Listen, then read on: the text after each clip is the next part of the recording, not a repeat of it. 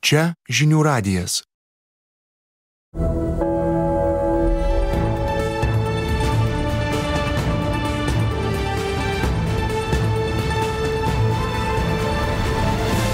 Aktualusis interviu. Sveiki žinių radio klausytojai, Jonis Ligaitė su jumis. Partijų lyderiai skuba atiduoti savo balsą iš ankstiniuose rinkimuose ir dalyjasi paskutinėmis mintimis, bandydami numatyti, kas jų laukia po rinkimų. Žemaitaitis įspėja, kad tiems, kurie braižo raudonas linijas, gali tekti gailėtis. Skvernelis vėlėsi, kad racionali politika ims viršų. Šmilytė Nilsen, kad Lietuva išlaikys vakarietišką prodemokratišką kryptį. Visgi kritikos strėlės nukreiptos į konservatorius, kurie nuolat dabar bando deklaruoti galimybę burti koaliciją su socialdemokratais metais taip galbūt bandydami atimti balsus iš socialdemokratų. Tokį politinį žaidimą demaskuoja kitų partijų lyderiai skvernelis šią taktiką vadina mirties bučiniu. Panašu kad įpyko ir blinkevičiūtė ji aiškina dabar kad gabrielius landsbergis yra visiškoje agonijoje ir jo partijai šakės. Konservatorių garbės pirmininkas vytautas landsbergis sako kad jam aišku jog nereikia balsuoti už cituoju maitaičių trydą ir kitus neapykantos skelbėjus. Armonaitė pastebi kad kuo arčiau balsadėžių priartėja politikai tuo tuo aiškiau matosi jų tikrasis veidas. O tuomet ir žodžiai kurie dažnai lieka tik žodžiais ir nevirsta veiksmais po rinkimų. Ką išduoda politikų emocijos prie balsadėžių? Kuri viešųjų ryšių taktika atrodo geriausiai? Kas čia gali laimėti rinkimus galbūt su gerai panaudota taktika? Ar mes jau matom kažkokią taktiką? Apie visa tai mes ir pasikalbėsim. Aš sveikinuosi su komunikacijos ekspertu arijumi katausku. Sveiki. Sveiki. Ir taip pat Vilniaus politikos analizės instituto politologu Matu Baltrukevičiumi. Sveiki. Labas vakaras. Agonija ir šakės konservatoriams. Taip kalba dabar Vilija Blinkevičiūtė, iš esmės reaguodama į konservatorių nuolatinį deklaravimą apie vaivorkštės koaliciją. Tokia konservatorių taktika ekspertai jau pastebi, kad naudojama tam, kad socdemai prarastų balsus, juos perduotų kitoms partijoms ir nebūtų laimėtojai šiuose rinkimuose, kurie formuos koaliciją. Pone Baltrukevičiau, kaip Jūs manot, pasiteisins tokia taktika ar ne? Na, kartais dabar kai žiūri į tai kaip socialdemokratai reaguoja į situaciją na tai atrodo kad jokios partijos iš kitų partijų nemėgina balsų pavogti kažkaip viskas čia pasiskirstyta yra. Nu tai čia yra visiškai natūralus rinkiminis procesas liko nedaug laiko iki rinkimų. Vėl matom kad lyderiai masiškai dalyvauja išankstiniam balsavime nes taip na gali pritraukti papildomo dėmesio dar iki rinkimų savo partijoms na ir vėlgi kampanijos įtaka aišku yra rezultatai bet na ji paprastai laikoma gana ribota. Be ir bet na vis tiek o ką partijoms dabar jau daugiau daryti? Jų darbas yra atkreipti dėmesį į save ir ir tik tai ką bando tėvynės sąjunga deklaruoti na tai yra akivaizdi strategija šitaip susilpninti socialdemokratus. Natūralu kad po rinkimų visokių gali būti situacijų man šiaip šiek tiek net keista kad blinkevičiūtė kuri na taip stengdavosi neįsivaryti savęs į kampą pasilikti visokių papildomų variantų kai buvo keliamas klausimas ką ji galvoja apie savo galimybes būti premjere na dabar jau tokiais stipriais pasisakymais kalba nu kai nėra tikrai jokių garantijų kad paskui nereiks atsiprašinėti gabrieliaus landsbergio nesakyti kad gal aš čia šiek tiek prieš rinkimus pasikarščiavau nes na kai žiūri kaip realistiškai gali susiklostyti rezultatai po rinkimų na tai e, ir kiek čia jau tų raudonų linijų perbraižyta na tai e, truputėlį ta situacija atrodo taip kad jeigu visos tos raudonosios linijos išliks kuo aš netikiu na tai iš esmės jau galim iš karto nusiteikt veikti arba mažumos vyriausybei arba pirmalaikiams rinkimams tai natūralu kad to lankstumo visada daugėja. Bet na matom tikrai kad mūsų politika yra įgavusi labiau emocinį pobūdį negu buvo prieš dešim ar penkiolika metų na ir ir kartais asmeninės ambicijos lemia vienokius ar kitokius sprendimus. Tai kartais gal politikams ir ir labiau reiktų pagalvoti ką kalba ir ir turėti omeny kad na tada sunku versti kitą puslapį kai jau prireikia. Pone katauskai kaip reikėtų reaguoti į na konservatorių tą nuolatinį šliejimąsi prie socdemų? Ką jūs patartumėt socdemų pirmininkei ar pakankamai čia gerai sureaguota agonija štai ir šakės konservatoriams na iš ponios blinkevičiūtės aš to nesitikėjau jeigu atvirai turbūt na aš tikiuosi kad skaičiai tam tikri arba atgarsiai tam tikri vis tiek partijos tikrina temperatūrą prieš rinkimus itin itin aktyviai rodė, kad reikia tam tikros reakcijos. Kitu atveju, na, konservatorių žaidimas, kurį, kurį jie pradėjo, tarkime, sakyčiau, gal pakankamai švelniai su socialdemokratais, bet kai jau erzini kažką tai ir matai, kad kažkas tai pasiduoda erzinimui, galima pabandyti ir pažaisti. E, Brinkevičiūtė, mano nuomonė, tikrai pasikaršiavo. Nemanau, kad ten kils labai daug problemų, jeigu prireiks po rinkimų kažką tai formuoti. Na jau kas jau kas, bet politikai moka greitai užmiršti reikalus ir pradėti dalintis postus. Tai šitoje vietoje turbūt didelės problemos nėra, galbūt pati Brinkevičiūtė nesi, ne, ne, neatsiprašytų ar kažko tai nepadarytų, tačiau tikrai yra partijoje žmonių, kurie pasakytų, kad ta, tai, kas vyko per rinkimus, vyko per rinkimus, dabar pradėkime žaisti arba dirbti konstruktyviai. Bet e, pats principas turbūt tas, kad e, pana, e, bet jau kelintus rinkimus mes matome koalicijų galimų dėliojimąsi kaip ko gero vienai turbūt top trejetuke esančių svarbiausių temų apie ką diskutuoja arba apie ką mūsų politinės partijos kaip žaidžia prieš oponentus.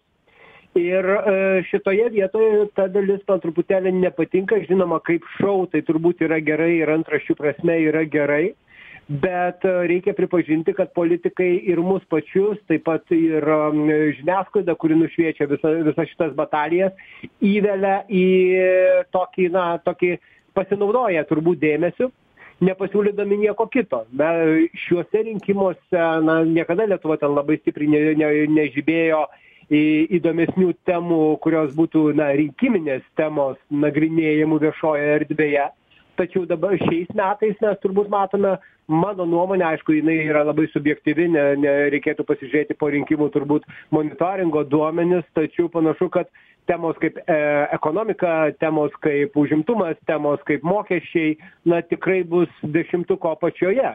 Koalicijų sudarymas galimų koalicijų sudarymas atsiminkime žemaitaičio atsisa visų atsisakymą žemaitaičio tai yra nu numeris vienas tema. Man atrodo kad mes pasimovėme ant politikų žaidimo. Žemaitaičio antisemitizmo drama atrodo nuolat sklandžioja ir visa rinkiminė kampanija sklandžioja ir matytumėt jūs kad tam tikra prasme na būtent ir antisemitizmo skandalas tapo visiškai politiniu įrankiu na tiek pačiam ponui žemaitaičiui tiek konservatoriams tiek turbūt ir kitoms partijoms. Vėlgi jūsų klausiu pone katauskai. Tai vienareikšmiškai e, ponas žemaitaitis su savo tuo e, pasisakymų nevykusių reikia pripažinti šovė į padanges prieš e, prezidento rinkimus. Ir prezidento rinkimų rezultatai parodė kad na visuomenė tik didelė dalis visuomenės nėra nusiteikusi jo už tai bausti ne tik už tai ir už konstitucijos laužymus ir panašius dalykus. Ir kad šita tema bus e, eskaluojama ir e, bandoma daryti takoskyrą tarp žemaitaičio ir kitų partijų buvo akivaizdu prieš pat rinkimus ir žemaitaitis e, kas turbūt įdomesnė dalis yra faktiškai nelabai reaguoja į šitą temą. Ir jis jos nebeeskaluoja, bet politikai jau ką galėjo turbūt tą iš to išsispaudė. Ir pažiūrėsime, kaip tai suveiks, nes tas jo viešas visų partijų faktiškai atsisakymas ir pasakymas, kad mes su, su Žemaitaičiu neįsime niekur, pažiūrėsime, kaip suveiks jo rinkėjus. Nes aš turiu tam tikrų abejonių ar tai iš tikrųjų buvo gera taktika siekiant išmušti žemaitaitį e, seimo rinkimuose iš e, gerų pozicijų po prezidento žodžių pone baltrukevičiau tapo šiek tiek na populiaru tarp partijų atskirti partiją nuo žemaitaičio. Pavyktų čia jūs kaip manot išlaviruoti po rinkimų? Nes štai šiandieną žemaitaitis garsiai sako apie tai kad kai kurie jūs čia pasigailėsit kurie tas raudonąsias linijas nusibraižėt. Bet iš esmės galbūt atsiras tiesiog na toks triukas kad na atskiriam žemaitaitį pasiimam partiją ir ir turėkim koaliciją. Jei labai reikia tai viskas pavyksta bet na aišku pirmiausia yra klausimas koks bus nemuno aušros realus svoris po rinkimų. Taip aš tikiu kad jie puikiai pasirodys daugiamandatėj apygardoj greičiausiai bus tarp trijų pirmaujančių partijų bet didysis klaustukas yra kaip jiems seksis vienmandatėse nes yra na pesimistinis turbūt scenarijus pagal kurį laimi žemaitaitis ir galbūt gediminas vasiliauskas kaune kuris jau ten yra laimėjęs.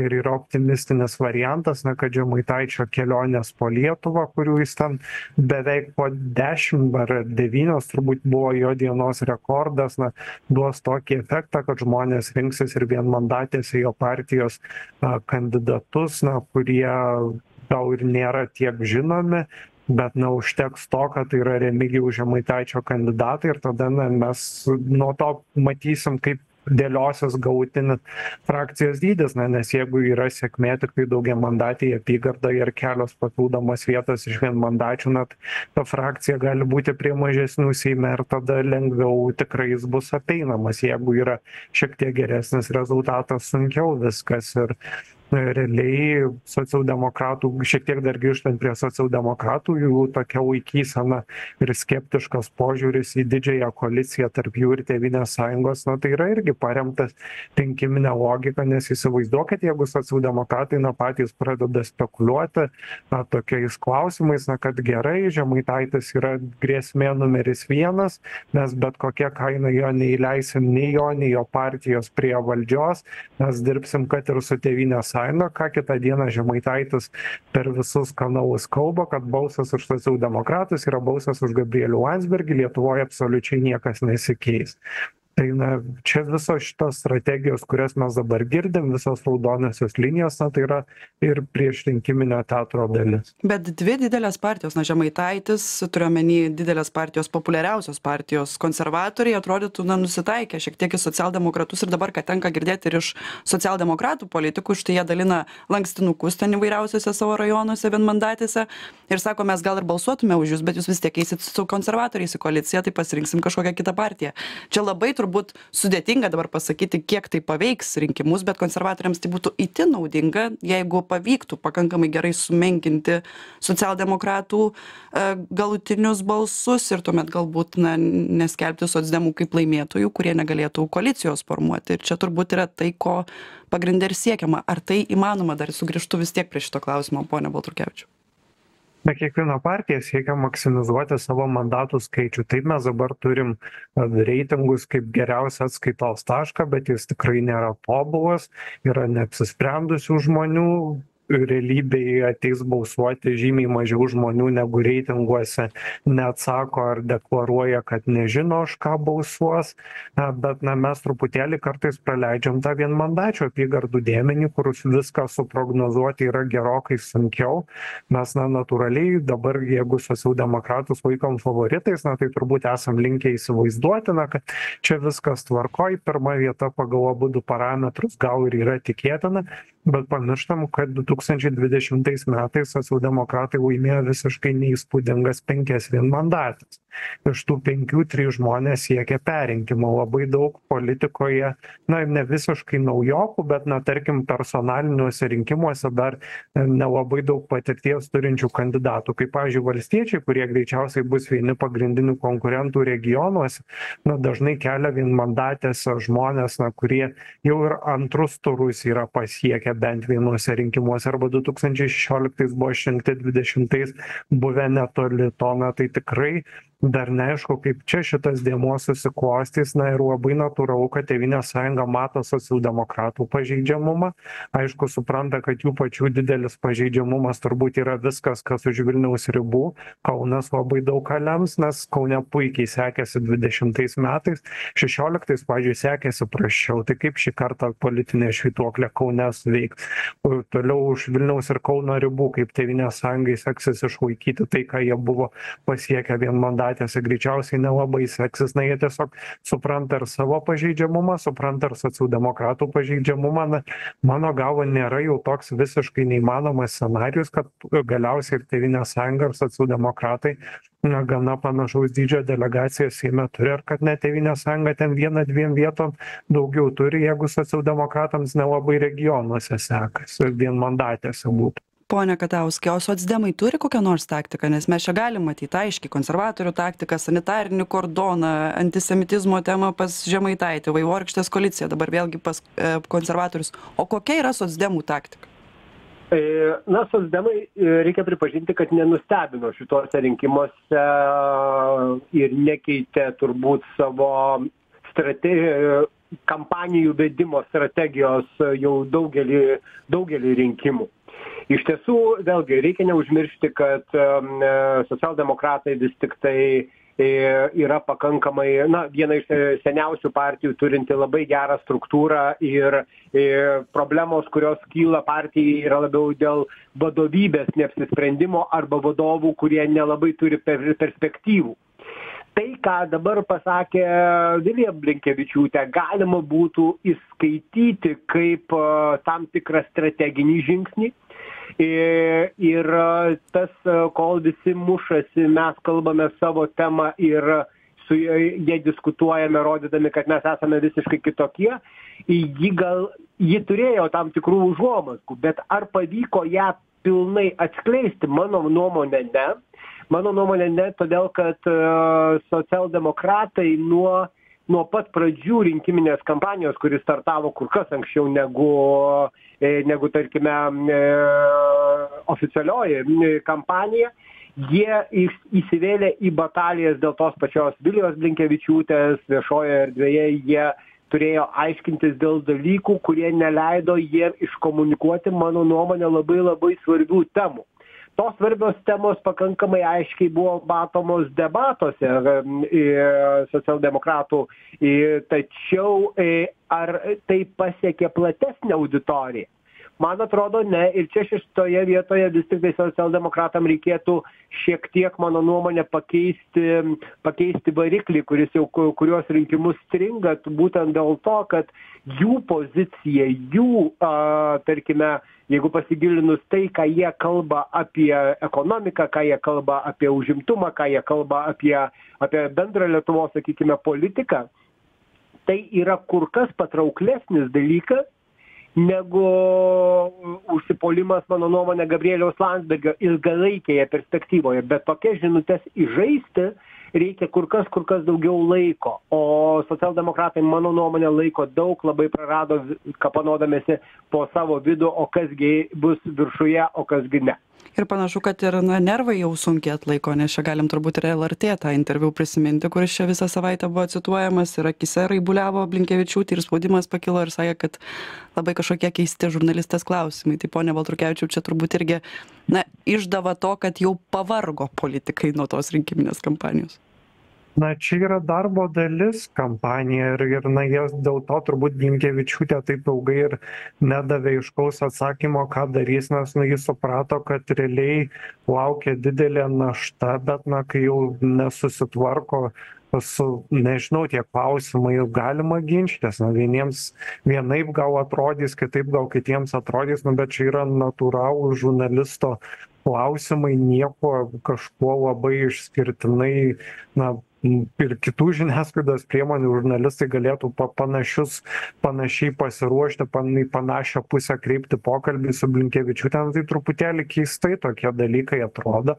Na ir ir nežinau turbūt kuo daugiau galima paaiškinti negu tuo kad na jau e, dabar vėl kampanijos partijų praktiškai viskas buvo labai orientuota į tą siaurą kelių savaičių laikotarpį nuo rugsėjo pradžios iki rinkimų. E, vėl kiekiai aišku darbo dideli na bet čia nu nėra pasiteisinimas ir ir nelabai profesionaliai atrodo iš politiko pusės taip interviu metu elgtis taip kalbėti ir bet bet aš nemanau kad tokie faktoriai jau rinkėjams labai daug ką lemia nes visgi taip mes daug dabar kalbam apie kampanijas na bet bet na kampanija turi įtaką bet ta įtaka nėra jau tokia kad kad na nežinau būtinai čia dėl vieno interviu viskas turi sugriūti. Kažkas skaitė kažkas neskaitė kažkas na labiau tik kaip nuogirdas kažkokias dabar.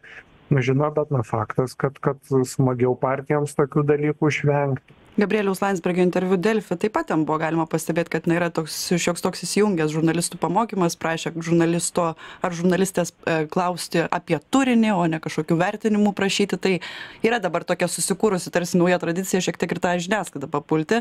Bet pone katauskai jūs kaip matytumėt reikia jau nusiraminti tiems politikams nes čia mes galim stebėt vardan lietuvos liberalai laisvės partija atrodo santūriau į tą visą politinį foną dabar reaguoja tos pagrindinės partijos kurios varžosi dėl tų pirmų vietų dramas kuria tai ar pamatysim mes nusiraminimą ar visgi dar tų dramų bus ir iki sekmadienio dar visko pamatysim?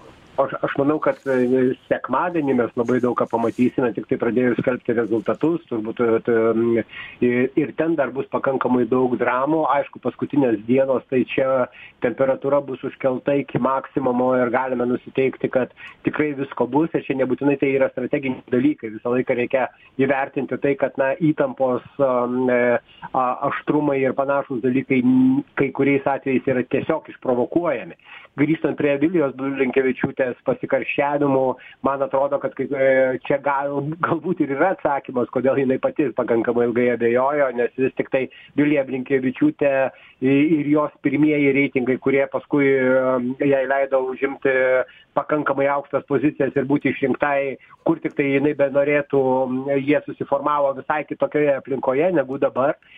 Ir šitoje vietoje tas temperatūros kėlimas tas na labai svarbi dalis atkreipta dėl žiniasklaidos pamokymų kaip jinai turėtų dirbti. Mano nuomone irgi yra šiek tiek mūsų pačių a kažkoks tai nuolaidžiavimas ir ir panašiai. Politikas kuris pradeda mokyti žurnalistus dirbti jis tai gali padaryti tiktai tarp rinkimų turbūt vieną kartą. Tačiau šiuo metu ži politikai ar tikėdami savo socialinių medijų galia ir kitų su kitų įrankių galia ar mat rodydami labai akivaizdžiai rodami didami nepagarbą i ar dėl karščiavimosi ar dėl to kad jie iš tiesų apie save labai gerai galvoja tai pačiai žiniasklaidai jie truputėlį nu ir vis tiek gaudami dėmesio jie truputį jie tuo piktnaudžiauja. Tad šitas karščiavimasis jis yra ir karštų galvų ir matymo kad dabar tiktai keliant temperatūrą galima gauti dar papildomo dėmesio nes o kurgi dar kelti? Ačiū labai arijus katauskas ir matas baltrukevičius buvo su mumis. Klausytojams linkiu ramaus vakaro.